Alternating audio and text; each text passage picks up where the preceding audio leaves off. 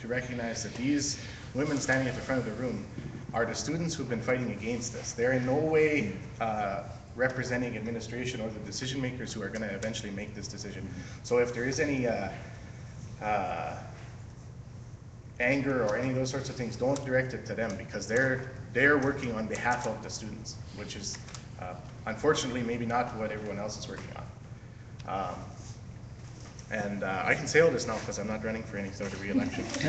um, but uh, but as a member of the, the Anishinaabe People's Council, uh, this came to us two years ago as a draft written by somebody who we had never met, and we're told that it had to be passed because it was a health and safety issue. And it had to be passed then, right? Uh, I called in from Ottawa and said, here are, all- I just was able, to I only was able to read this once because I'm out of town, but here are the issues I found in the first read. Uh, and we were able to get it stopped, right? Um, In section three, I think it's section three, uh, I suggested two years ago, why would we, why, even, not even thinking about, you know, constitutional rights that are protected under section thirty-five, but thinking about just efficiency, it makes more sense to have physical plant do one survey of the building one time and determine all the places that we can smudge and all the places that we can't, rather than, well, assess it on each individual occasion.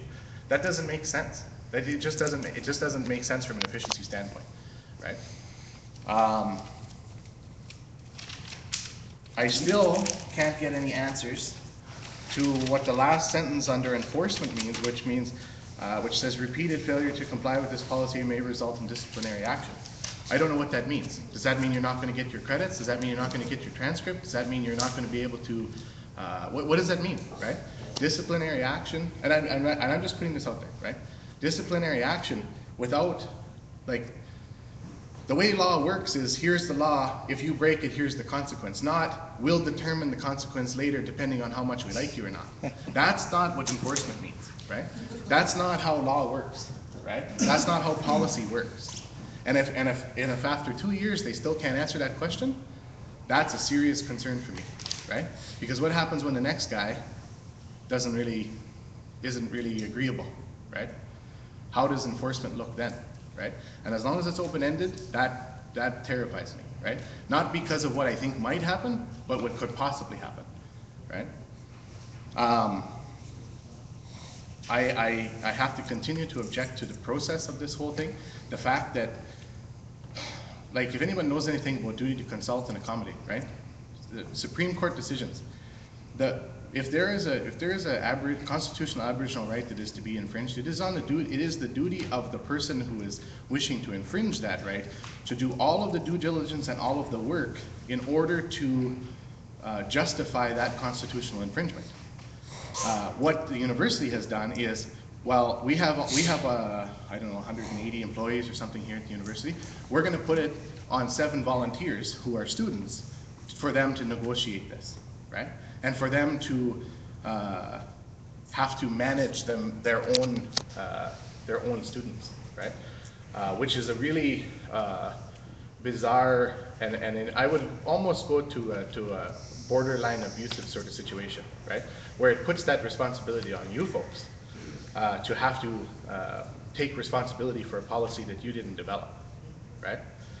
Um, two years ago, we talked about this and said, well, you know, smudging's not the only, like, you know, I'm, I've got, uh, uh, I've got some form of asthma, my, my lungs are affected by those sorts of things as well. Um, but smudging is not the only thing that could affect somebody in this building. We've, we brought up the issue of perfume and cologne and all those sorts of things. And they said, oh yeah, yeah, we'll do, we'll do, we'll do that. Two years has gone by, not even a draft of that policy. Not even a draft of the policy to deal with, with perfumes that are made out of chemicals Discrimination. right? That are made out of chemicals that are not natural material from the earth, right? And I get really, I, I find it really offensive that somebody would hide their racism behind my asthma, right? Because that's what's happening, right? Um, the, the issue and the double standard of, uh, we need to get notice. We have to get notice, uh, if we are going to smudge. We have to get permission from somebody in administration. Um, but the cafeteria, about a month ago, can do steak day. Smoky as all hell in there, right? But it's steak day. So I said, so, but, but it's, did you get permission? Did the fire department come? Did you have to shut everything down?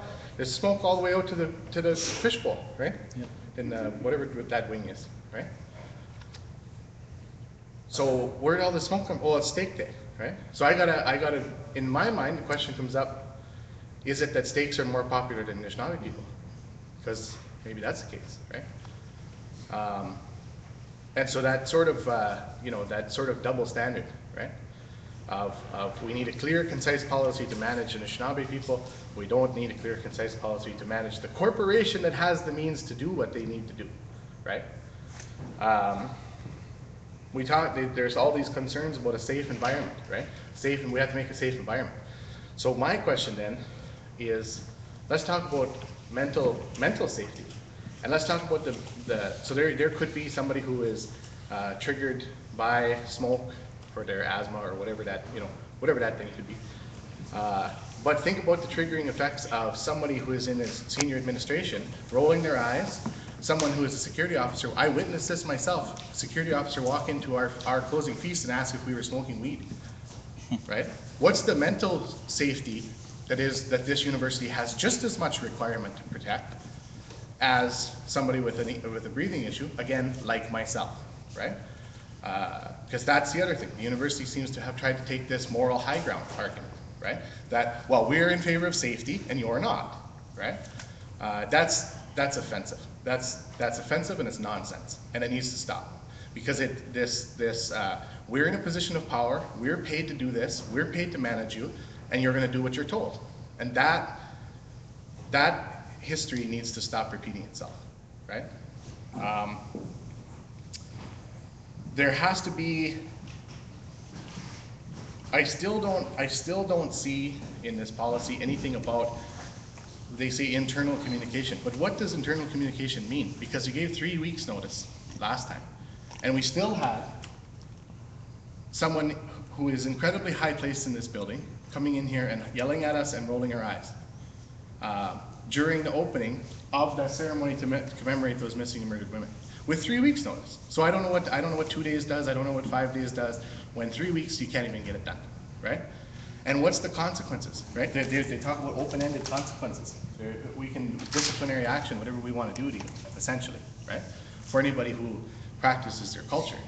But what's the response and what's the, what's the disciplinary action for someone who is a paid, either faculty, administration, all those sorts of things, who then violates a student's safety by those types of comments about, are you smoking weed in here? Uh, all those sorts of things. When the cafeteria, they knocked over a stack of, uh, them little clamshells you put hamburger in, knocked that onto the grill, the fire department got called. Our feast was, was held respons was, was blamed for that. I had to go to administration and tell them, the fire, the fire alarm was pulled in the other end of the building. Nobody came down and saw the smudge at the feast and walked to the, walked past nine smoke, smoke alarms to pull the one by, the- by the cafeteria where there was actually a chemical fire, right? But they blamed it on us, right? So, so all of those issues, um, and the fact that you have been left to deal with this, and the fact that people who are staff, administration, who are supposed to be there to work for Anishinaabe students, have left this to you, is, it, it's, it's infuriating. It's, it's infuriating, and it's, a- it's offensive that, that this has been left to students to have to manage that and to have to deal with uh, the backlash from students, to have to deal with the emotional consequences of possibly re-triggering people in a former residential school, right? That, all of that, um, and the, and the fact that uh, two years later, we still don't have a perfume policy, the, the whole thing about air quality is bullshit. That's it. Because if you haven't in two years been able to say, uh, here's our new policy on uh, clean air, then that's not really what it's about. And, and so, I mean, that's, that's just what I was able to fit on here, and I figured if I stopped at that, that'd be, that'd be sufficient. Um, But I think if, and I don't, I don't know where the other, where the latest draft is, because I, I heard that it was because it hasn't been passed by the board, but neither has this one, right? Don't let anybody tell you that this has been passed by the board of governors, because it hasn't. So, the, the, these are all big issues, right? And, and, and it seems like the university says, well, we're, we're concerned with health and safety. But, uh, then they have their fiftieth anniversary and they burn a bunch of oil barrels on the front lawn. uh, With, which I can, which, all across campus, you could smell the smell of that, of that uh, starter fluid they use. Um, To me, there needs to be a serious think about how this all came down. And, and, you know, I guess we could make our peace with this policy. I guess we could just learn to live with it, the way we learned to live with the treaties that weren't, that didn't mean anything, the way we learned to live with the Constitution that didn't mean anything, the way we learned to live with, with residential schools that were a false promise, the way we learned to live with everything. But, you know, at some point, we gotta stop learning to live with it. And we gotta assert who we are, right? And we can't continue to give up and, and, uh, continue to, to just bow our heads, uh, to those people who have decided that they know what's good for us, uh, in our school, on our territory, right? Um, We can't continue to change our, our culture, to change the way that we do things. Uh, And if we, if we're gonna do that, then, then, you know, maybe, you know, I don't know, I don't know what would be better. The slow death, you know, by a thousand cuts, I don't know. Um, But I think that those are the big issues that we need to think about. And if the university isn't prepared to think about uh, mental health, isn't prepared to deal with their staff, isn't prepared to deal with the people who create a hostile environment for students, then, you know, I don't know. So those are my comments.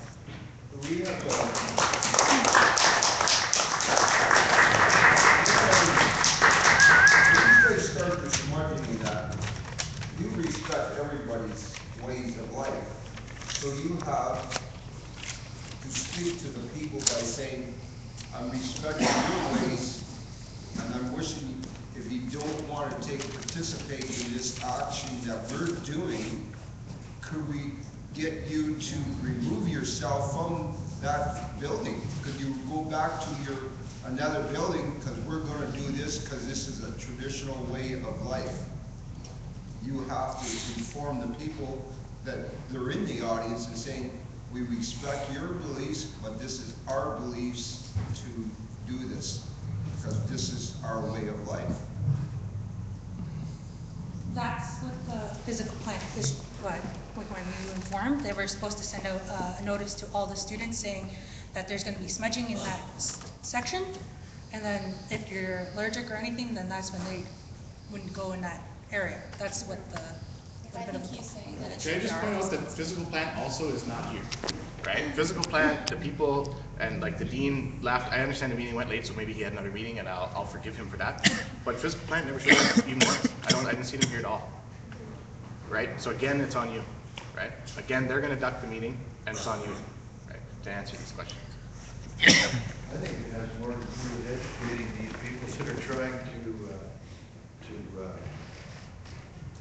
say no to this, on, on the strength and the purpose of what it is that we're trying to do with this.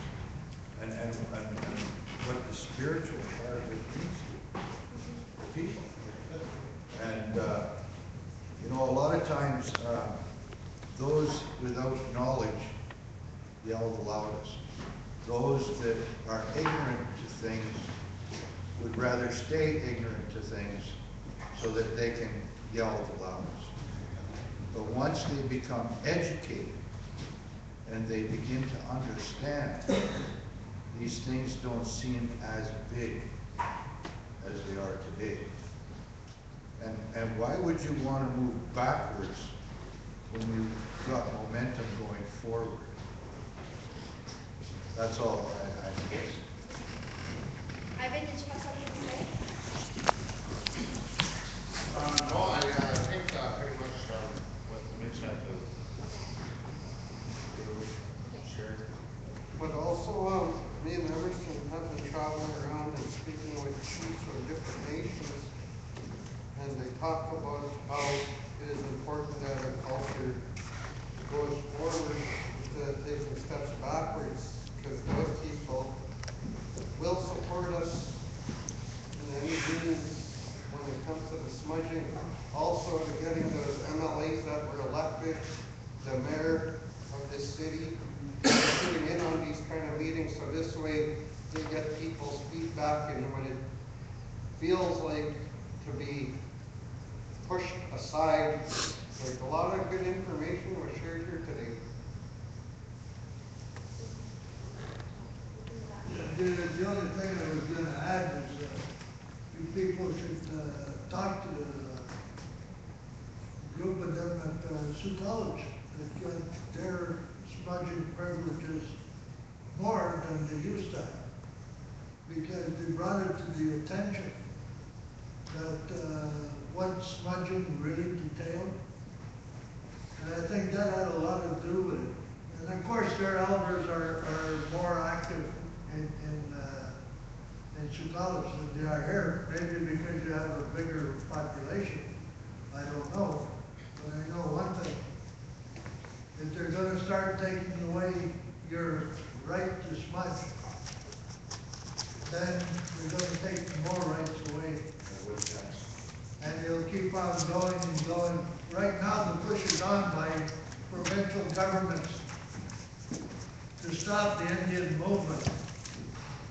Because they're fearful that when it comes time to go to court to deal with the land thing, they're gonna lose even more than they did. Because we're getting stronger, we're getting more united. Instead of fighting amongst ourselves, we're starting to fight for our rights. Smudging is not only for us, it's for the building, and it's for the spirits that live in these buildings, in the hallways. You know, I've been here at two o'clock in the morning with a few other elders, and we walked through the hall, and you could feel, feel the spirits in it. Because the spirits were buried here. And to try to hide it, they built on top of it. And they just want their rights too, to remain in peace. Smudging, the reason that's sent, is to encourage spirits to be restful, peaceful. Never mind what happened before. Try to overcome that. That's why smudging is. Is to give your spirit a time to relax. So you don't have to fight amongst other people. And we gotta be proud of who we are and where we come from. Nobody can take that away from you. They'll try to beat it out of you, like they did in the fifties and sixties. You know, three people couldn't gather together on a corner without being harassed. Are we gonna go back to that? Because if, if they start taking away things, that's what's gonna happen. This land is from Garden River. It was given so that people will understand our culture and our history. Don't do what churches has done with that gift. Turn around, keep it a few years and then sell it. Because if you give up your rights, and I'm not blaming you guys, I'm just telling you guys, if you don't stand up for your right, you're gonna lose it. Yeah, to get them back. So you guys, you guys meet once a week or that and discuss things between you, what's happening to your situations that are happening here? Are you trying to like gather in a circle like that, and trying to say, well, what do you think about it? Can you give me some ideas, you know, what can we do? You know, like, like he's saying, talking about Sault College, don't you inform the people what smudging is about? I mean, what's, what's it do for you as a personal thing, you know, like, in that depth, I think that's, your personal journey is gonna be more powerful than what you're saying. Like with, with this paperwork here that we see here, you're gonna say it from your own heart, that's much about. So you could get more elders to come in. Yeah, we're, we're elders with twenty and thirty years of experience in traditions. And uh, they can give you a load of information to use, and they're not being utilized. Wait for two years and I'll be back. The problem is, it's not them who's not using them. No, no, I'm That's, I'm just, I just want to I'm remind just saying everybody. that this would be extra in their pocket to help the clients. Yeah. You know, the more people you get, the more information you have, the more you can teach someone this information, the better off things can be. And it, and it stems right back to ignorance once again. Um, uh, Hi, my name is Deb, I'm an alumni from the university. Uh, You guys are doing a really good job being intermediaries. I understand that's a difficult position to be in. but It's a really good learning experience at the same time. Um, I think uh, in your mind, sometimes you think policy is uh, finite. Once you create it, it's done, right? But I think uh, as a way of probably expanding and maybe making the building more inclusive, right? Because what they're essentially talking about, they're saying like, uh, the building has all these constraints on it, right? Fire, um, perfume, allergies, et cetera, right? You can't, you can't really change that, right? Is there a way that you guys could, um, lead to creating more spaces that are smudge friendly, if you will? Like retrofitting fans, if you could do some of that legwork now, it would be, it'd be beneficial, and I know you guys leave your spots in SASSA and some of you will graduate, but if you could do some of the legwork of costing out what it would be like to retrofit, for example, maybe not the totality of it, but then you could think of creating future spaces that are more, that are more smudge friendly, right? And that would be uh, a little bit of a legacy, but a little bit of legwork that your future SASSA won't have to do. It's just an idea to keep it, to not think of it as finite, right? Even one, one space a year, right? This year do this, then next year do that. Okay, so we have brought up that issue about creating more spaces that are more friendly. Um, because we did use, um, an example to the prayer room that's downstairs. Because in the beginning, we had said that was also space for us to access as well. And we pretty much said, well, no, it's been claimed by another culture practicing their traditions. We need something a little bit more inclusive for us within the institution because yes, we do have Sasa Lounge, but it's a lounge. It's not a safe space. Well, it is a safe space, but it's also inclusive to everybody, like regarding everybody else's cultures to come into the room and also learn about like what we do. And they're like we smudge in there with them. They ask questions, we answer. But we also we're working on getting more of a private space for us to uh, smudge. This gen- gentleman right here with the little hat here, he's rolled around the fire, and he's got something to say here. Guy just right here. Tell him about your university. Unless there's anyone else who needs to say anything. Um, so yeah, my name is Jeremy Kula. I'm from uh, Mississauga. I came over here a month ago uh, just to kind of do some work here with my friend Shanini buying a school up on Rankin Road. But anyway, at York University, uh, that's where I graduated for, for human resources management. So I'm a classically trained human resources manager. I, my specialties are employment law and, human, and health and safety, right? Um, so from that standpoint, as a health and safety um, graduate and health and safety uh, rep, uh, I can tell you a couple things. First of all, you would be doing more harm to health and safety by not smudging than you would be with smudging. Couple reasons. First of all, sage, for example, uh, when it's dispersed into the air, actually removes about almost 100% of bacteria and viruses from the air, and it lasts about three months. Nikola Tesla did this before any of his uh, workshops uh, went into production. Um, so that does a couple things. First of all, anyone who has asthma or suffering from bronchitis or any kind of respiratory diseases, uh, it actually reduces their irritation from that because there's not that much stuff in the air that will irritate them. Now, yes, the smoke is going to irritate them or anything like that, but sage especially dissipates very quickly. So they may cough once or twice, but that's about it. Uh, second of all, there's the emotional and psychological factor. When you don't allow someone to smudge, and this one I think is a little more important, when you don't allow someone to smudge, uh, you're taking away their, what I would say, fundamental human right to be in a uh, healthy state of mind. Right? When they don't have that, you're not only risking their safety, but also the safety of everyone else in the community. Right? Because you don't know how much they might respond and stuff like that.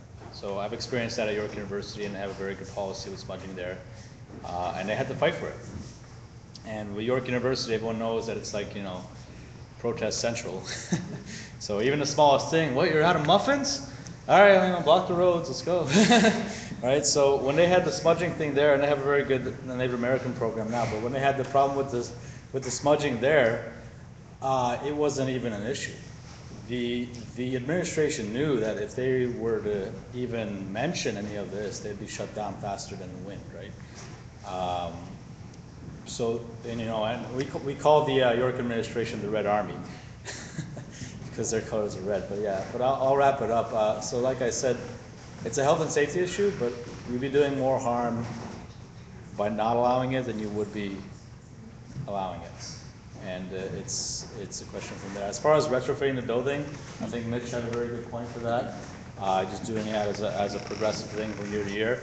And we're willing to help you with that. Shanine and myself, we know a lot of people that do retrofitting and, uh, I know electricians and, and, uh, you know, vent guys and uh, AC guys, so that's not a problem. We'll even do it pro bono, right? I mean, we got the school up on Rankin Road, we're converting that to an ingredient school, right? Um, so yeah, I mean, I have all the faith in the world with you guys, and I'm sure you'll be able to follow through. But the thing is, you have a legacy to protect. And at the very least, at the very bottom least, this is still native land. And it doesn't matter how many people come here from anywhere, right? As far as I'm concerned, if you don't even know your own uh, culture and your own heritage, how can you even have the gall or the cojones, right, to even consider questioning someone else's? Like that's the highest form of ignorance that I know. But anyway, that's that's all I have to say. Thank you. I got a question. For these, uh, laws that pass or whatever, sorry, I missed it, but it was passed. in, uh, Cody, and that's what I heard, but, um, so I gotta know, if you guys have these laws and, and do they have proof saying that there's, there's contaminants or any type of harm being held to anybody that's sick with, with our sludging? Is there any proof, do they have anything they're standing on?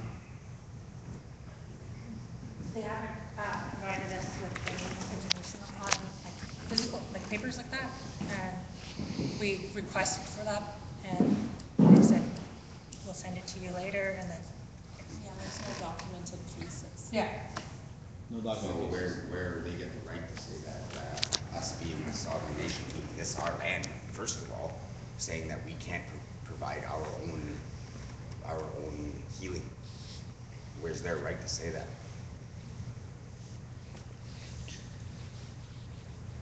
So I just, I just, uh, want to point out too, that, uh, not only on the, the time commitment of these folks here, uh, and this, the volunteer student association, but I, uh, who paid for the coffee? So, Sasa. So now students are paying out of pocket now, out of our funding, to implement the university, to have to coordinate and defend this university's policy, or whatever, or be in that middle ground or whatever. right? So, you know, that, I'm, I'm, I'm so glad my career as a SASSA rep is done. I'm sure the administration's glad too, but, uh, that's, that's maddening to me, that they want to pass this policy and then they pass, they, they pass the time commitment onto you, they pass the responsibility onto you, and they pass the financial commitment onto you. That's maddening to me. Being this my grandfather's school, is there a way I can get into the court system or to these people myself and fight for this cause on my own terms? Chief Shingwauk was his grandfather,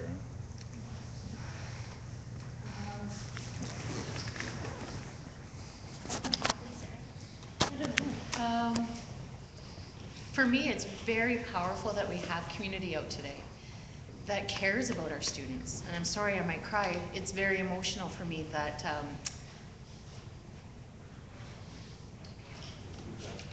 that we're not here by ourselves fighting this. No, of course not. And I think admin would probably be surprised to know how important this is. And I, I think that's the disconnect for them, right? They don't know that it's important. They don't understand that part of it. And so as a frontline worker working with students, I'm always worried about their safety. Because any student that comes to university um, carries some trauma with them before they start their education. So to walk in these doors and face those demons and, and come to try to get an education um, they go through an emotional rigmarole. Like, it's very emotional for students in general, but Nishnawb students, because that's who I work with specifically. And so to deny us an opportunity to have one of our healing components um, denied or confined in some way is very frustrating. And I appreciate um, your, your love and your support here. Um, I'm overwhelmed by people showing up today, and it makes me very happy. Um, For staff persons like myself, we are in that awkward position of being that liaison between students, community, and admin, and our board of governors. And like I've talked to probably every student here about, we have to live in both worlds. And I have to be able to come here and speak with you in the community and hear your concerns and feel your love and your care and concern for us. But I also have to go and talk to admin.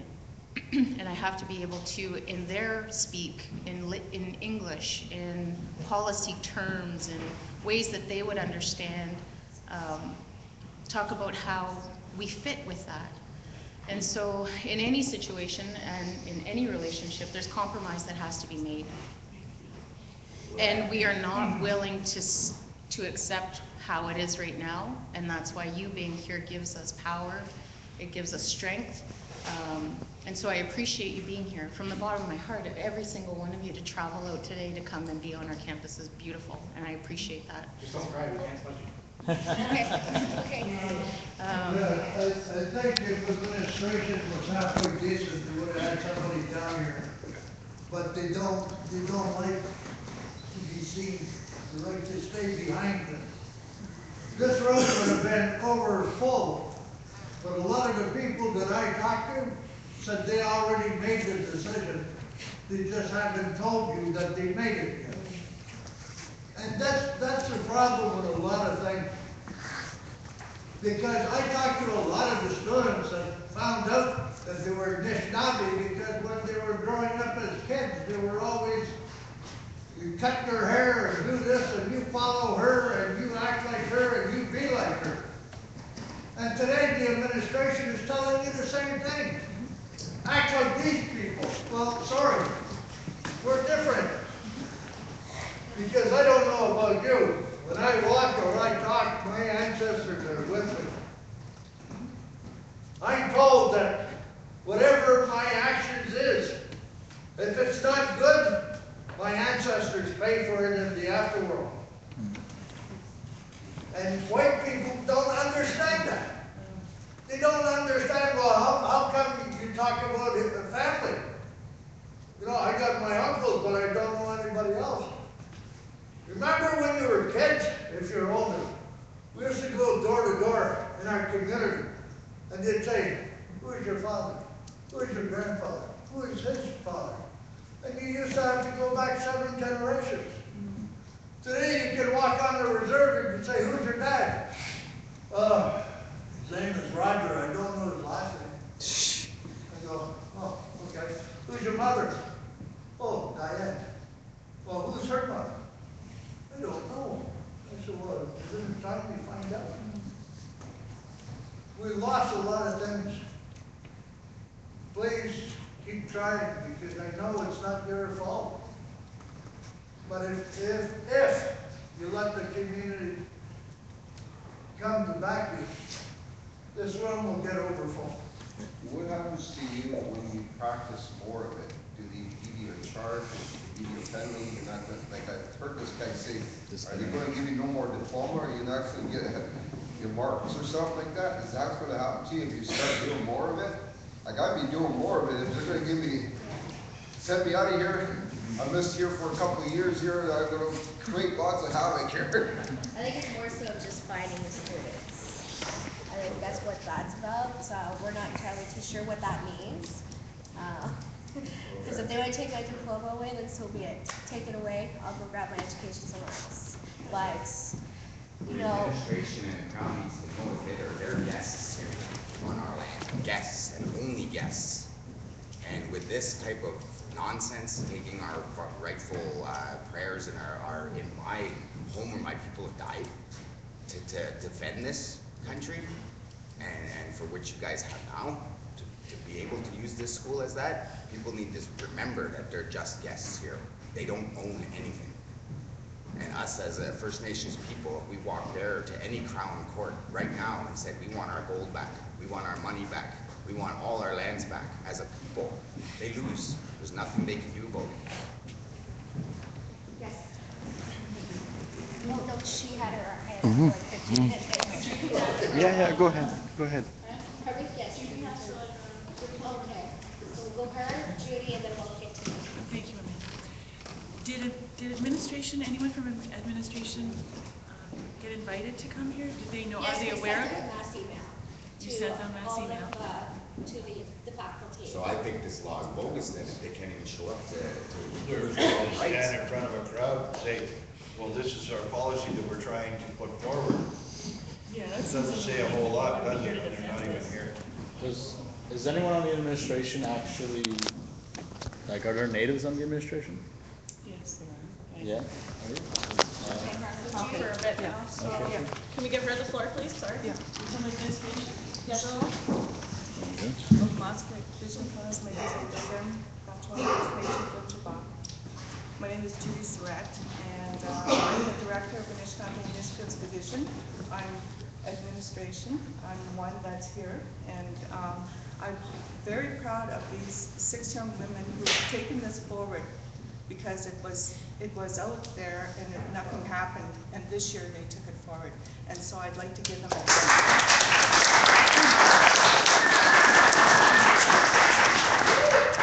I've been here in Algoma for 25 years, and I started here back in 1987, and I was the first Anishinaabe Quay here uh, working in this environment. And um, at the time, there were only a handful of students here. Were, and most of them were part-time. Um, Once, and it was the community who initiated the position here at Algoma, and they initiated, initiated a position, Native Student Counselor up at Sault College as well, because they needed to see their students succeed here at the University of Post-Secondary Education, and that wasn't happening. So they needed somebody within the environment to help those students feel comfortable, to be able to navigate, to know what a, a degree was or a diploma, to be able to, to uh, have someone to go and talk to if they were having difficulties. And so that's how it started, way back, actually in 1986. I was the second Native counselor here at Algoma, and I started in February of 1987. So we've come a long way. And at no time in all those years, since 1987, were we told we could not smudge here. We were never told that.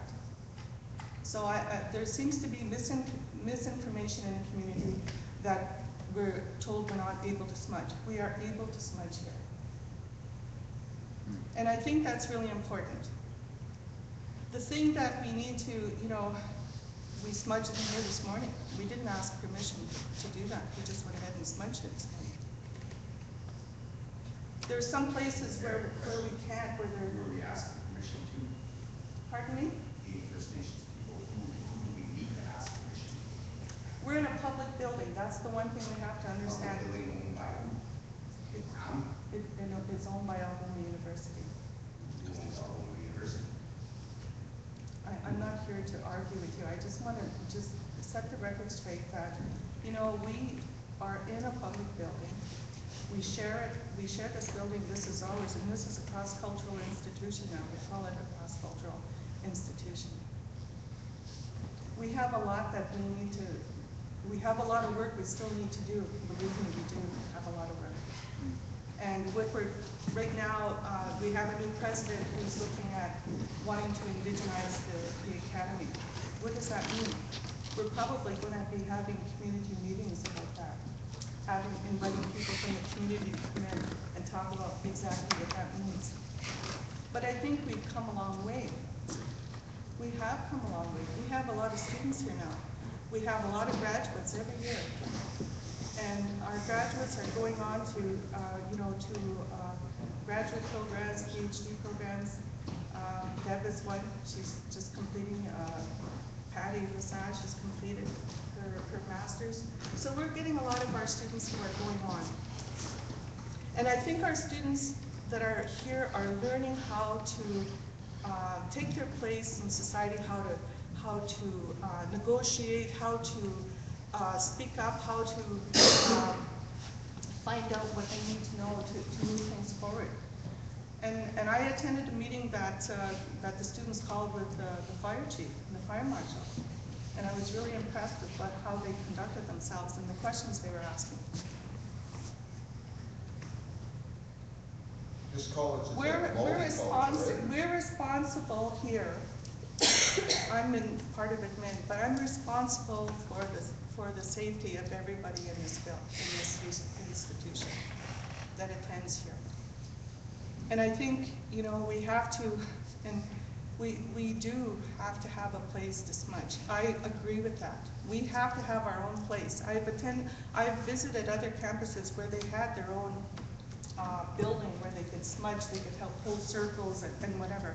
And that's one of the things that we need do. We need to come together and say, you know, this is what we would like to see. I know that some of the uh, Muslim students have a, a prayer place, but we would like to have our own place where we could do the smudging.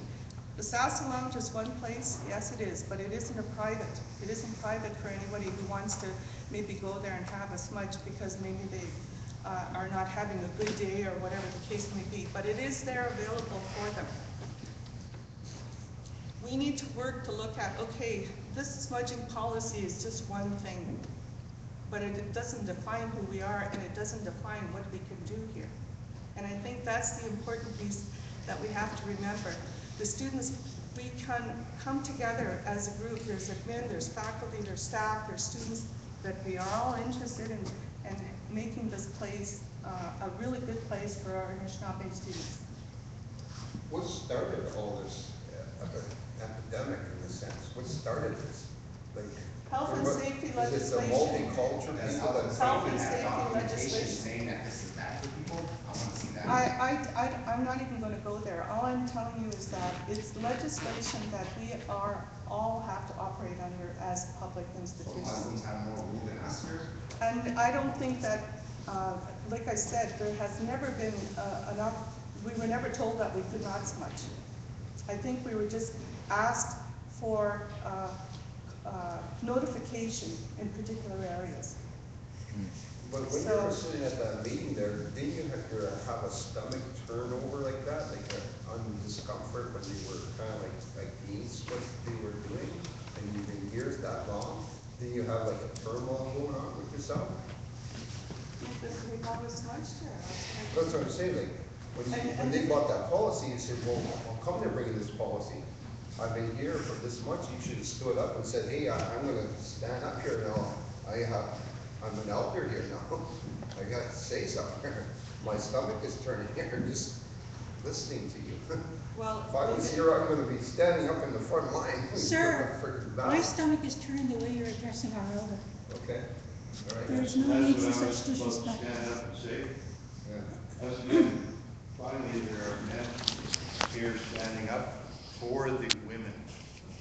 The women have been on the front line for a long time. Okay? And we have an elder. And they need to be respected as elders. Okay? We have things to say, we say them in a respectful way. We don't attack people. These are our people. And we need to respect that. They are here to help us, to do the best they can. And they are open to suggestions. But we're not here to attack one another. We're not here to try and force something. We're here to talk about something. In a peaceful manner. This is why this is going on. A gentleness, the sacredness of the woman, and the support of man is most important.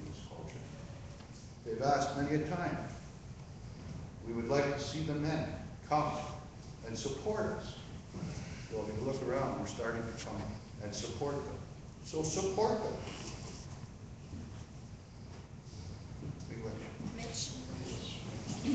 So I just would like to finish to say that this policy was brought to the Anishinaabe People's Council, who's been an advisory committee here community-based advisory committee here at Algoma since nineteen eighty-six. It started off as the Aboriginal Education Committee, and it has changed into Anishinaabe, and it's representative of, uh, uh, the First Nations, uh, the Métis community, um, students are, are sitting on this, um, I'm just trying to think who all, uh, there's also administration on there, but the voting members on that committee are Anishinaabe people. It was also brought to the Elders Council. And the Elders Council looked at it and they discussed it at a meeting, and they thought that the health and safety of everyone was sufficient, and they approved it, and it was brought back to the Anishinaabe People's Council. That's where it sits, that's where the, the policy sits, waiting for a response from the students, because the student did say at the, uh, at one of our meetings, they wanted to bring it back to the students, and the, uh, APC has been waiting for a response from the students. So it hasn't been approved anywhere, it has been brought to APC, it's brought back to the students, and the students are gonna bring it back, uh, to the next APC meeting or forward it to me, that I will take it forward to, on their behalf to APC, which will be, uh, the next meeting is May eighteenth. Okay, so, one minute, we have just under an hour until we have to end because there's another event going on after us, so I booked it for as long as, uh, I could for everybody to talk as well, so, just so you know, we have under an hour, so we'll go with Mitch first, and then we'll, oh wait, you first, Yeah. Mitch, and then yourself, sorry. Yeah, um, yeah, my name is Dee Shanger. Uh, I'm a live streamer from Toronto, and I was invited here by Elder Emerson. And there is a worldwide audience watching now. And traditionally, between live audience and archival views, there'll be four or five continents watching this.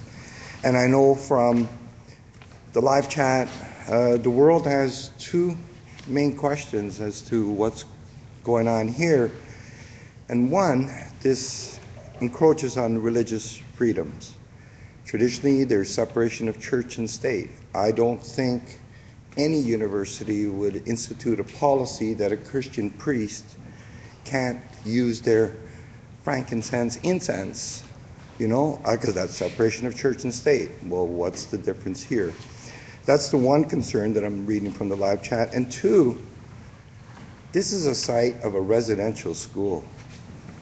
And we all know how ugly a period of time that is. And if this administration was serious about any making amends, But this is a slap in the face of the history of this site. And I just, you know, I've been invited on many First Nations territories to live stream by many elders and grandmothers, and a lot of them call me the digital shaman. So I'm just trying to say to you what the world watching this is saying. Thank you. And at least someone from the administration is here, but I think it's despicable. Thank you. I, I just, I have to go back to, um, I don't know how to say this, because this has been going on for two years, right? Uh, and, uh, I'm gonna try not to, uh, be offended by some of the comments that have been made. Uh, That, that, that SAS has been working on this for two years. And you know, A- APC is, uh, is ostensibly representative of the community, but also I re- I recall uh, two years ago, uh, when uh, Batchewana First Nation appointed their representative, the university refused to accept it because it wasn't under their format, because, and I was told this in the APC meeting, that this is not the community's council. This is a council of the Board of Governors of the university. That's what I was told. So, so I, I, I don't really know how representative APC is And I, and that's not a slight against APC, because I, I know those people, I've sat as a member of APC, I'm currently a member of APC, and they're incredibly well-intentioned, good-meaning people who care about our students. My, my concern is about the structure the university has placed them in, in that they will not accept a letter from Batchewana Chief of Council as the, as, as a, um, uh, sufficient enough for them to accept their representative because it's not the community's council, it is a council of the Board of Governors, right? A committee of the Board of Governors, rather. So, so I don't know how representative that really is, right? But my other concern is, uh, and, and, and I'm, I'm struggling now because I, I, uh, I want to remain polite and respectful. Um, But with all due respect, again, uh, administration is saying health and safety. And, and we've been saying for two years, what about mental health and safety? And there, no response, no response. What, show me what the administration has done about that concern, right? Like, especially when you look at the Board of Governors just passed the res, or, not Board of Governors, the Senate just passed the resolution in, I believe it was, uh, December, to extend, uh, to create a, a spring winter sem, what is winter, like January, is that winter semester? A winter semester reading week, no.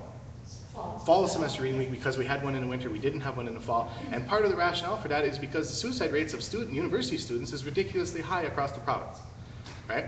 And, and, and we've been saying this, A- again, we've been put in a position of health and safety. You're either for health and safety, or you're not. We've been talking about mental health and safety, which is just as, just as, if not more serious concern.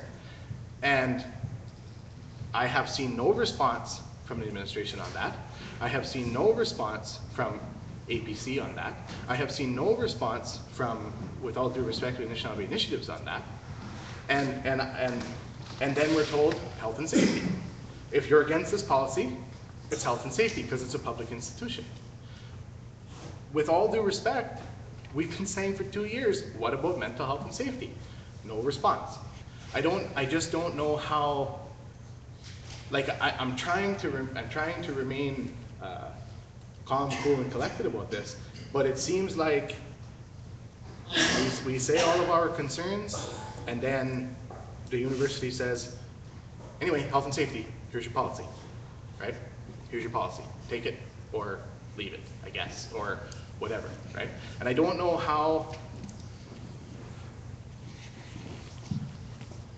like, I don't know, I don't know how students, like, I've been, I've been a, a- student, I was a student here, and now I work at the partner institution at Shingwauk Kinoomaage Gamig. I was on student, student association, I, I worked with the, the student union, I was on Senate, I was on Board of Governors, I was on APC, I was on several committees for the board, for the Senate. With all, like, trying not to, not be humble here, but like, I have a pretty good understanding of the working of the institution, right? Like that training that, that, that Judy was rightfully talking about, that training that you're getting, I got that training. I understand how this institution works, and I still can't get any answers to my questions I've been asking for two years. So how does Joe student, or Jill student, say, get answers to their questions? If with my six years of experience, seven, seven years now of experience working in the building in different capacities, and my understanding of the system, if I can't get answers, how then does student get answers without that experience? Right? And, and, and I'm sure the response will be health and safety, because we're, we're apparently against health and safety. Right? And that's an unfair, that's an unfair position to put the students in. And it's an unfair position to put the community in, right? And, and then I, like, you know, I don't know what the consequences will be now for me, having said all this. uh, But I already got my degree. But I don't know, I don't know, I don't know what the consequences will be, right? But I know. I don't know what the consequences will be now, but, uh, I feel like that I can say this now, uh, I never was that, I never was that, uh, what do they call that? Subdued when I was a student. Um, But there was always this, this uh, hesitancy to say something because, well, you don't know what the consequences will be. Uh, I don't care about consequences anymore. But I, I just want to know, how are we going to get answers to those things? Because we've been saying it for two years. What about mental health and safety and all those other issues, right? And the double standard of the cafeteria having one rule and us having another. The double standard of the perfume and cologne and all that sort of stuff, and then us. health and safety is a bullshit argument. Um, What I think might be a good, um, way to get information is conduct a survey with the people that are involved, getting their general knowledge. Um, Like, for instance, a lot of good things have been brought up when it comes to cologne, comes to cooking, comes to smudging. In a short little while, marijuana is gonna be legal. Has anyone thought of that? And like, how do you tell people, oh, you can't smoke this, but our prime minister is gonna make it legal on the twentieth? So, those things we gotta think about, the mental health and what does that do for our country if marijuana is playing a part in society? Because being addicted to any kind of drug, there's certain things that come along with it. For example, you have your emotions that overtake you at times, and then you think about what the smudge does, brings calmness, brings well-being, you're praying for the well-being of other people. And just, just to take that into account, think about that, making a survey, getting those higher ups to partake in that survey, sharing that information with the general public, getting everyone involved in how to move forward instead of taking twenty steps back and forgetting why our ancestors signed agreements, but it was all for survival in those next seven generations. So now, the big thing is, how do we move forward? We know these things are already here and in place, and that's a problem. How do we move forward and come out with better way of life instead of giving up what our ancestors have fought for? That's all I have to say. Congratulations.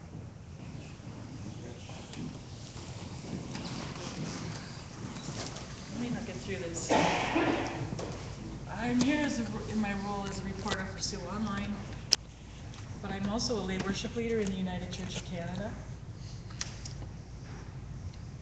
If I understand correctly, smudging is the way that encourages the centering of a person, the, um, the collective wisdom of the ancestors that I brought forward.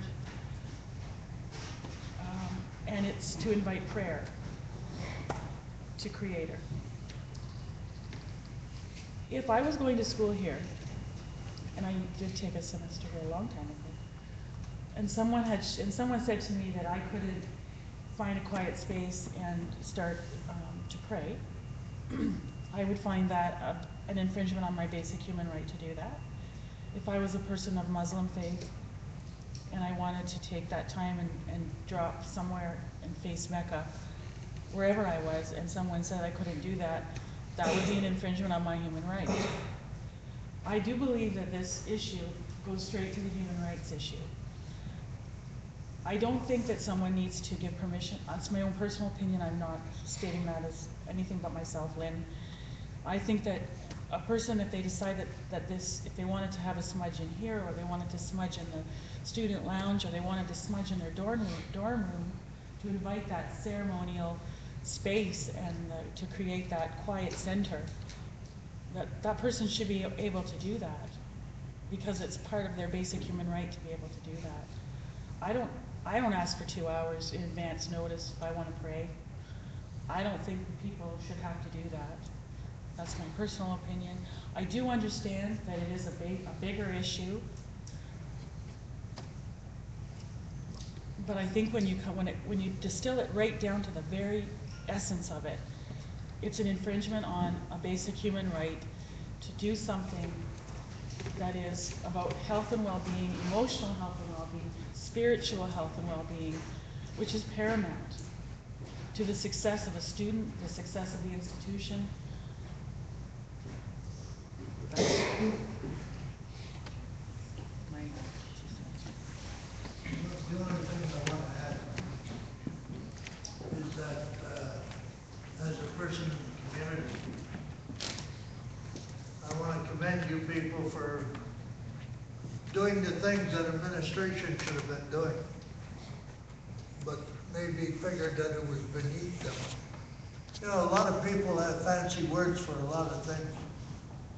Well, let's get down to the real nitty gritty.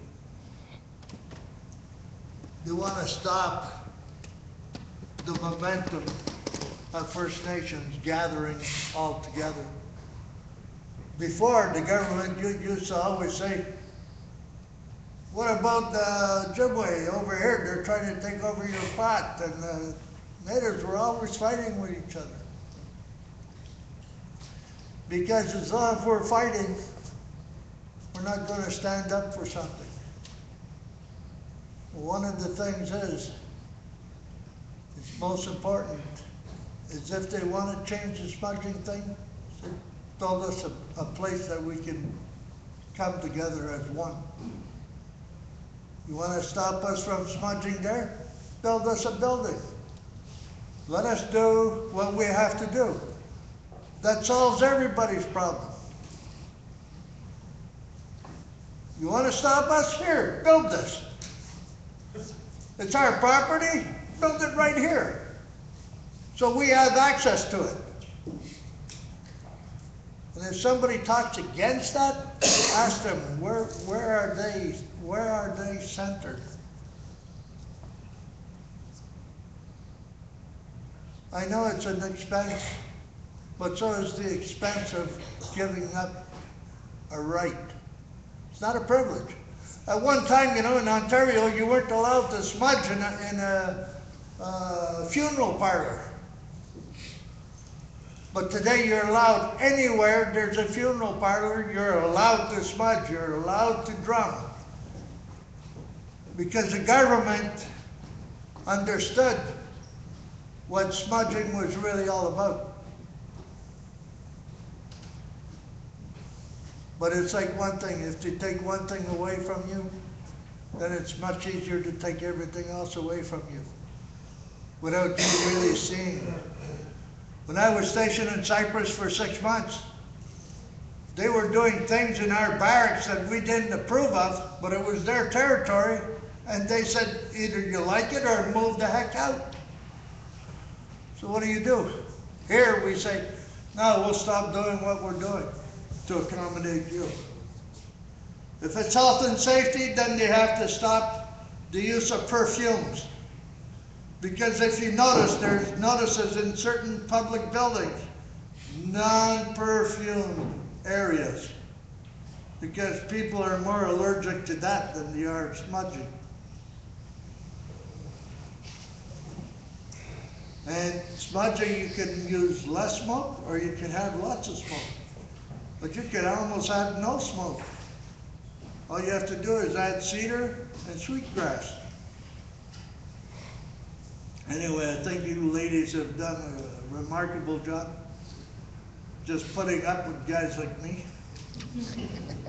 Wording has a lot to do with the, um, it, that's in, in this policy as of right now. Um, It could not say like, together, working with the director of physical plant, you, we request you to, in writing, to have, you know, five days. But they put it in a way that it's almost like offensive to me, like, you have to write us five days in advance. And You have to have written permission. We always been told, ever since the beginning of time, what to do, you know? And, um, this policy, I can, I can almost agree with it, but that wording could change, and the enforcement could change. Um, it, the enforcement has to be clear. Um, the wording has everything to do with, you can call me an Indian or a fucking Indian. What do you take offense of? You, of course you take offense to swear before the Indian. It's how you say things to each other that you may feel offended. I feel offended the way this is written. They can change the writing and make it like work together, you know, with physical plan. That's, that's, that's my opinion. It's just the wording feels, seems kind of like one-sided, like they don't wanna have nothing to do with it. It's just like you have to have our permission, you know? So, some work has to be done on the wording.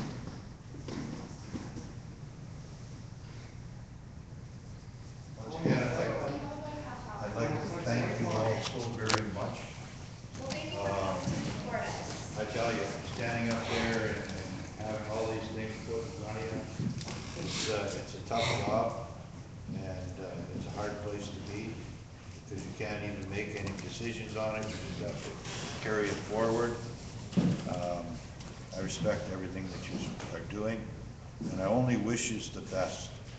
Um, I know in your hearts what you know to be right, and I know that uh, you're going to try to do the best you can for all those concerned. And uh, like, once again, I say, even the ones that are in the, uh, living on campus and around campus, uh, it must be difficult at times uh, when the day is done to be able to say, ah, the homework's done, everything's done, and most of the time it's like one, two, three o'clock in the morning, and you gotta get back up and do it all over again. And and just to wash that all off, you know, to do that bit of a smudge. And most of these medicines, they're medicinal. All these medicines, the four main medicines, they're all medicinal. They're, they're, they're there more to help you than hinder you or to hurt you. And it's been proven.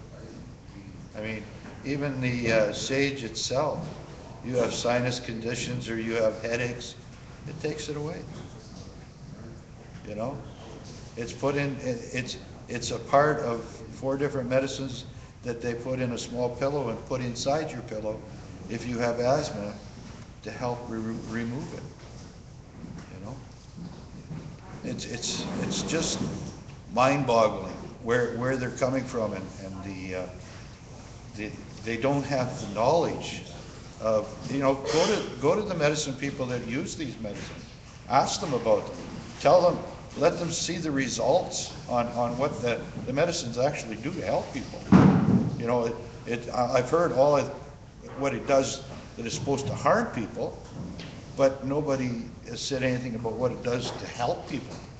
I mean, that's what I mean uh, for ignorance, and I brought that up at the beginning of the, the, those that are ignorant want to stay ignorant. They don't want to hear the healthy things that come along with this stuff. And they haven't looked into these things to find out the benefits that come along with this. It's only what a few are saying are no good to them. And, and Mitch has put out a many, a good uh, thing there where he said about, you know, steak night and uh, chemicals on the, spilled over. And, you know, I imagine there's been a lot of times they've had to tar the roofs and they haven't told the, uh, and no- notified everybody in, uh, two weeks in advance that they're going to uh, tar the roof and that if anybody's got any problems with asthma that might be bothered by this tarring the roof, you know, that, and, and how many times that they went and they painted the, the uh, parking lots, and I imagine they didn't do anything about that either. And paint fumes, I have a mother that paint fumes just drive her nuts, you know? And what about the art rooms? Do they have proper ventilation? If so, when they're bringing the art stuff out, is it all dry and uh, free of chemical when it goes across through, through the uh, univer- university, college? You know, there's, there's, there's so many carcinogens and, and, and that to think that sage is a carcinogen. I, I, I worked in a place where we work with steel and, and we've got as- asbestos in, in there. We have fiberglass that's, it's coming off the sand that's being burned in there. Wear a respirator. If someone has a problem, wear a respirator. Wear a paper cup. There's lots of places, if there, you know, there's emissions, car emissions. Look at the size of that parking lot. When all the students are here, how many car emissions do you think come out of there first thing in the morning and last thing at night? You know, and they're all carcinogens, you know? It, it seems, uh, awful strange to me. And yes, I was a health and safety rep too in Algoma Steel. And, uh, you know, policies are made to be changed, to be worked with, to be worked on, to fit the environment. And, and there are legislative things that say You are allowed so many decibels or whatever it is, being sound, that you're allowed to put out for the people around. Same with carcinogens, there's so many that can be put out healthy in a safe way for eight hours or 12 hours. Get reports on this kind of stuff and, and, and see if they, they can give you some leverage in where you're going with your stuff. Maybe it may help, I don't know. I just wish you all the best, and I know you're in a very tough spot, and I, and I commend you, I say thank you very much. So, say a couple of words, who was saying hello there? Elder Emerson. I'd just like to, uh, thank my young friend here, Mitch, I started chumming around when I was seventeen, and, uh, I had the odd smoke, and he's still alive, so there's proof that smoke doesn't bother you. He had asthma or something, but he had his window all the time, every place we traveled, he had the window open. When I first heard about this, uh, in, university, well, I was the mildest person in the world. I said, I'm gonna show them guys that we better have smudging in Algoma University. And I started thinking, there's gotta be some other people in there that's, uh, like these girls. So I said, I have to listen to their uh, story first. But when I first heard about it, I think one of them asked me, who told you about it? And I wouldn't tell them who, so it was you, right? And, uh, I was mad. Then I settled down, I said, I'll go and see them first, and find out what their, uh, issues are. And When I first heard there was no smudging gonna be allowed in Algoma U, man. Suddenly I only got grade three because I would have did something really, really fantastic for you. If I had more education, I'd probably be the president of the United States, so that's why I created you not to educate me. Stay the way you are, you dumb Indian, that's what I say. But uh, I feel we really uh, happy we're here to give you a hand if we get anything good. You're welcome to use it. And you showed us a lot of good. And uh, when you're an organizer and you bring the right people, you don't have to say a word, eh? Just carry it along. You're doing a good job. Always. Thanks. So just my last, I won't say that, because that might not be my last, but, um, if you, if you notice, I mean, I had a pretty long speech here.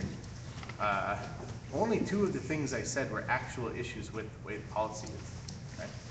The rest of my concerns, and the concerns I've been saying two years now, are about process, about the process that this went through, and the process that it continues to go through, and all of those things. And so this is a question that I don't even know if you, like, I know this, you can't answer this question, but I'm gonna say it. So what is the next, what's the next step? Not necessarily in relation to this policy, whatever, right? But what, like, I- want to, I would, I want to see some sort of commitment from administration to say, we're going to start to address those issues, right? Uh, and I know, and I'm sure that what's going to happen is, uh, oh, that's just Mitch, he's just crazy, then just ignore him, right? But I've been saying this since last year when I was elected with like ninety-four percent of the student vote, right? I was saying this last year when I was representing the student association and had the total support of the to, of the student, of the council, right? So, so it, it, I mean, if you want to ignore me now, fine. But these are issues that were put on record, uh, when I had a mandate to say that. And, and I want to know what, what is administration going to do to start to fix the process issues? The process problems of, they developed it without telling anybody, it brought it to APC, who are often told, well, you can't really bring this back to the community because these are confidential things and those sorts of things. And there's always ambiguity about what we can share and what we can't and when it's going to be an issue and when it's not. And so people err on the side of caution. Uh, and then uh, the, all of the burden being put on students to negotiate it, uh, the issues of the double standard. What's the administration going to do about that? Because I don't, and I know you can't answer that, and I know, I, mean, you know, Judy might not even be able to answer that because that might be the president or whoever, I don't know, right? And I, and I'm through this whole process, I've been trying to not uh, be accusatory uh, and trying to continue to maintain respectful relationships, but at some point, it's like, well, how, what is the administration going to do about these other concerns? Because it just seems like we'll just ignore it until it goes away. Uh, and, and I have a real issue with that, right? So wherever, whoever's doing the minutes, like send that to the president or Kathleen Wynne or somebody, I don't know, send it to somebody. We got the whole meeting on Because I, live stream. because it's like those, those process issues, right? And if the process continues to be flawed, and the process continues to be, uh, set up in a way that is intimidating to students and set up in a way that, uh, students are put in the position of having to negotiate on behalf of administration, on behalf of physical plant director, and on behalf of all these other people, uh, who, I don't know what they're paid, but they're paid. You folks aren't, right? Uh, you know, I want to, I want to see at some point administration create a plan to do, to change those real serious process issues.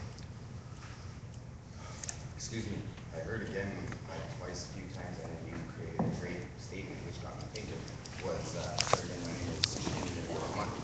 And, uh, we're talking about health and safety and Canada and, and how we, um, well, well, this might be causing this, causing that to other people and, uh, our people here, right?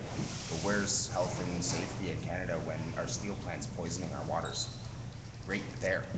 How come our non-proven to Health Canada that this does any type of damage to us, but yet the water we drink has fluoride in it, which is poison?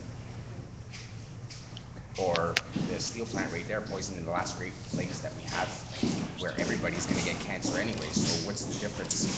Where does this, this start and where does this stop with Health Canada? How come our issue is being able to pray, clear our mind, body, and soul, being Chiminayam, right? It, this is our issue here, and it's always about First Nations, when they're poisoning us right there. All the arsenic in the water, yeah? All the arsenic, our First Nations reserves up north, holes in their faces, can't drink, can't eat, can't supply their own sustainable living. I've been doing sustainable living and building and everything for the last, what, 10, 20 years of my life, and not one government agency would help me help any of these reserves. Building them greenhouses, I have 24, seven days a week, greenhouses that run off biomass, and these are jobs, these are, and another young man brought up uh, Mother Nature Medicines. I'm a big part of that, bringing that to First Nations people. But then when I told them there's no taxes because all these uh, greenhouses will be on First Nations land, First Nations business, and then what, they got mad at me because I'm trying to bring this type of uh, non-taxable freedom to our country for our First Nations people. So where does it start and where does it stop with Health Canada? When the poison's right there and then like, where's, where is the documentation showing that this smudge is, is anyway dangerous to our people? It's gonna stop when you give them a glass of their own water. There you go. How about we do that? I'll walk there myself, like my grandfathers did, great-grandfathers, I could go Ching and Ching walk. My grandfathers, I'll go give them a glass of our water right from the steel plant. Let him drink it and see if he I'd like to likes see that. that. I'd like to see that. Or tribunal, let's go to court and to the Queen's Court, Supreme Court, and see what they have to say about us being a sovereign Yeah, nation. but the thing with that is no native lawyer will ever go to the Supreme Court. Doesn't need to be native, native. Just needs to be. No people. lawyer, no crown lawyer will ever go to the Supreme Court. Wow, then we should make our own coins. Because these poisons are existing in all other areas of our life, but they have a problem with our way of living. When we're the first people anyway to be Because here. they'll immediately be expelled from Thank you, the, uh, that's all I wanted to say. Yeah, so um, I would just like to finish by saying um, a very big to Mitch for coming to support us. Um, I think hearing from everybody has been a little bit overwhelming, um, but it's a good overwhelming. Uh, I feel filled with a lot of information from our elders, and I'm very grateful. Um, One second. Um,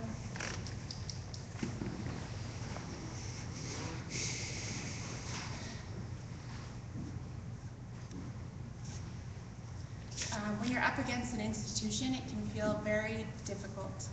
Um, it seems like everything is built to keep you. Um,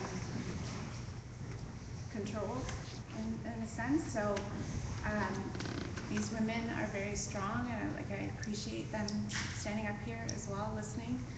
Um, we're up against a very big system, and, um, it's been brought down upon us, so, um, hearing from everybody has been very helpful. I think we've gotten some clear direction too, like um, with surveys, some ideas um, that we'll take forward as much as we can before the end of the year, and then we'll make sure that the next ESSA is well informed. Um, Yeah, I would just like to say thank you for coming on.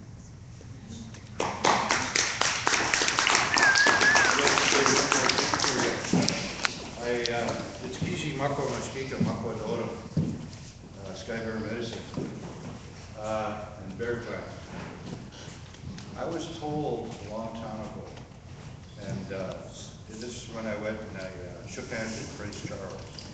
My friend went and said to me, he says, at the end of the day, champ, they all wipe their butts the same. So don't ever feel intimidated or that they're better than, or stronger than, or more powerful than. All one, equal to, in many different ways, we are given different gifts. And when we put our- all our gifts together, we're pretty strong. That's true, unless you're the queen and then you got someone wipe your butt for you, called the royal stool master. Last thing, on your way out, just sign your name to let them know that you were here. Okay? So thank you again. Thank you guys. One of the ways of women, so you're the strongest persons in the world. And here's their winners. Thank you very much for the work you do. Thanks, Sarah. Hopefully you'll see me, uh, Done a lot for us.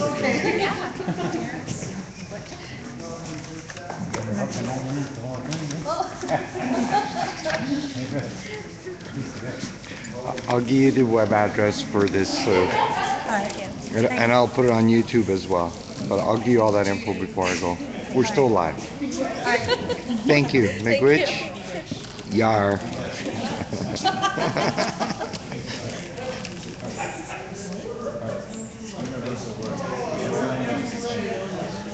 You never heard of yard before?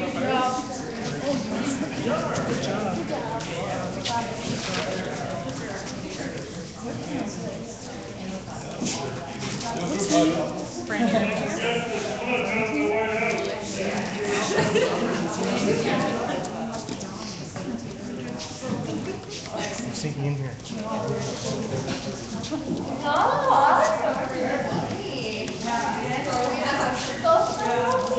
Thank you, grandmother, for everything.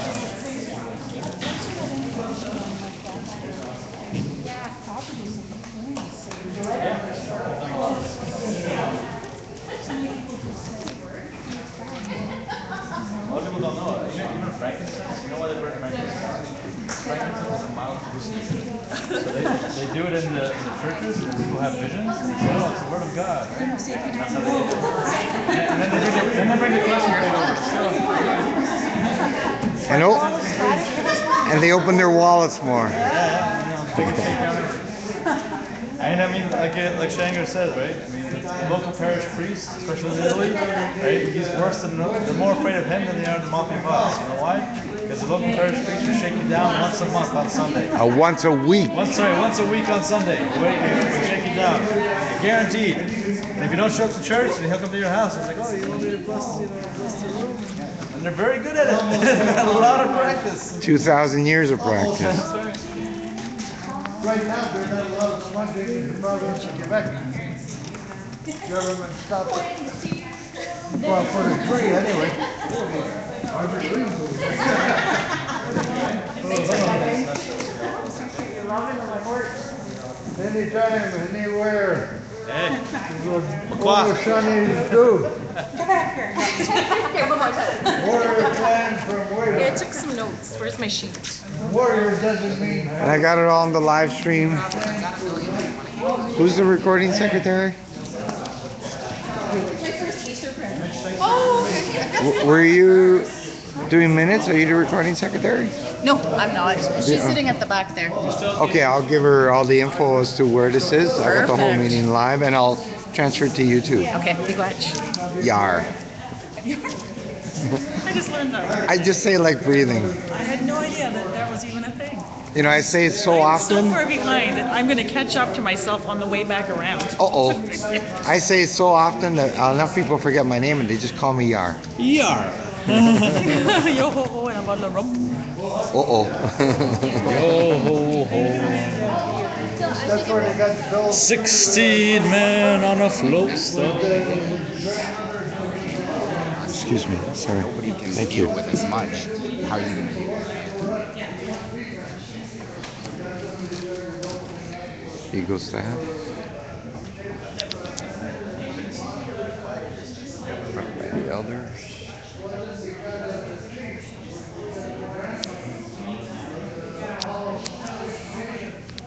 Yeah, the only part of this I couldn't film um, at the beginning was uh, ceremonial drum and the ceremonial smudge at the beginning only. I will in a sec. And uh, and what is the what's this petition? This isn't a petition, it's a sign-in for attending. Okay, I will, and I'll give you the web. You're the recording secretary, so I'll give you where this is. The whole meeting is here. And- okay. Thank you. Thank you very much. Okay. Miigwech, thank you. And can I show this? Just to the worldwide audience, just to end this whole, to show them what the discussion was about? Just gonna get the, Okay. And this is what we're talking about, folks. For those that don't know what smudging on Turtle Island is, it's sage and sweetgrass and cedar and tobacco, the four sacred medicines. And if this was smell-o-vision to the worldwide audience, it smells beautiful. Miigwech, thank you. Thank you, folks. My name is Dee Shanger, and uh, thank you for watching and spread the word about this. Take your old camera. Ah,